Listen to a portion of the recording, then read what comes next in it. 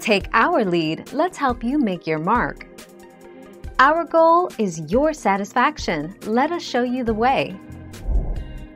Turn everything off, including Find My iPad. You'll be prompted to keep the data on the phone or delete it, your choice.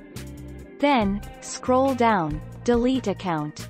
Then, set up iCloud using her ID, and leave everything else alone. This won't change any apps on the iPad or the iTunes App Store.